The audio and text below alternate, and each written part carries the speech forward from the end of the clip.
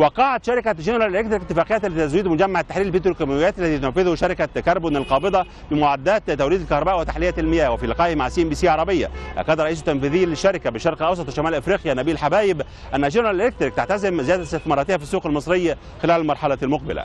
إحنا في كل المجالات اللي يعني في البنى التحتية مثلا في مجال البترول والغاز في مجال الكهرباء والمياه في مجال الصحة في مجال سكك الحديد في مجال الطيران. فكل شيء بيتعلق في البنى التحتية يعني في المنطقة وخاصة في في مصر. إحنا بنقدم الخدمات لها حجم الاستثمارات اللي ضختها جنرال الكتريك في مصر في الفترة الأخيرة يعني.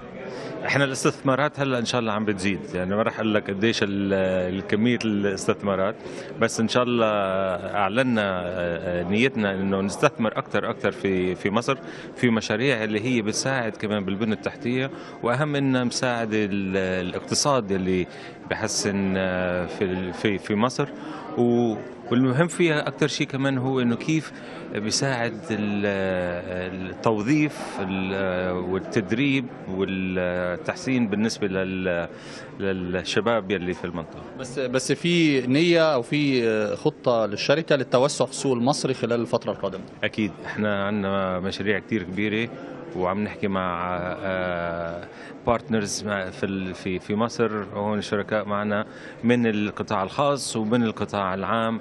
حتى نشوف كيف فينا نساعد في نمو الاقتصاد وفي في بناء البنى التحتية في المنطقة. الشراكه مع شركة كربون القابضة الشراكة مع شركة كربون سيد باسل البز. أيوة الشراكة هاي كثير مهمة عشان هذا مشروع اللي هو بيساعد الاقتصاد وبيساعد بالنسبة للتوظيف. آه وإحنا يعني بالنسبة للمعدات والخدمات اللي بنقدر نقدمها لمشروع مثل هاي هو آه شيء يعني آه كثير مهم بالنسبة لنا وبنفس الوقت لما نعمل الاستثمار في المشروع هذا بنشوف يعني بتأكد إحنا على أهميتنا للمنطقة وللمشروع هذا بالذات مساهمة جنرال الكتريك في المشروع قيمتها قد إيه؟ هيدي بنعلنها بعدين طيب في الفترة الأخيرة الحكومة المصرية أعلنت صراحة أنها تشجع المستثمر الأجنبي فتحت الباب بشكل واسع أمام الاستثمارات بالتحديد في قطاع الطاقة. وأنتوا شركة بتستثمر already في هذا القطاع. شايفين إزاي رؤيتكم للاستثمار في مصر في القطاع في ظل ربما التسهيلات الحكومية خاصة بعد موضوع تعريفة الطاقة الجديدة والمتجددة وفتح الاستثمارات في مجال الطاقة عموما؟ أنا بتصور أنه الحكومة عملت خطة كثير مهمة بالنسبة لتحسين القطاع الكهرباء بالنسبة للقوانين والتارف ريتس اللي عم عملوها والسبسيدي يلي هي بتشجع المستثمرين مثلنا إحنا يجوا يستثمروا في قطاع الكهرباء.